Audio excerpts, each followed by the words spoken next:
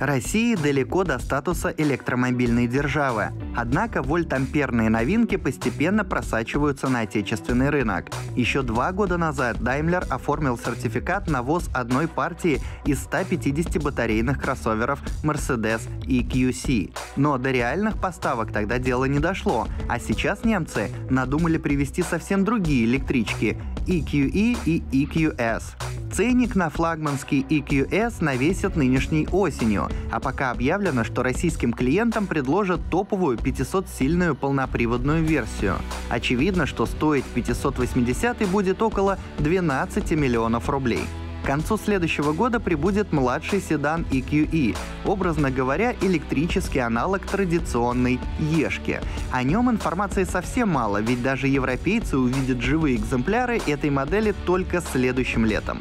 Любопытно, что дилеры немецкой марки вовсю готовятся встретить аккумуляторные Мерседесы. Во всяком случае, перед крупными шоурумами начали появляться фирменные зарядные станции.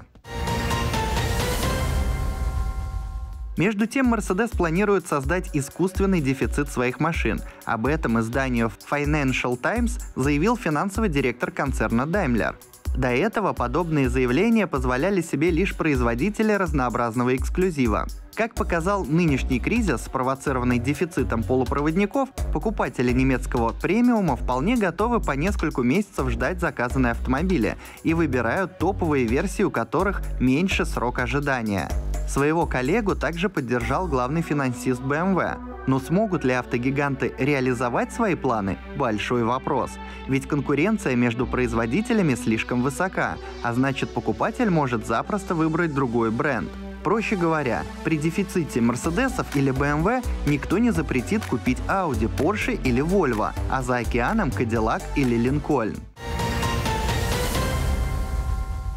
И еще одна важная новость, пришедшая из Штутгарда. Глава отдела исследований и разработок концерна Daimler Маркус Шафер заявил, что разработка новых гибридных силовых установок полностью свернута.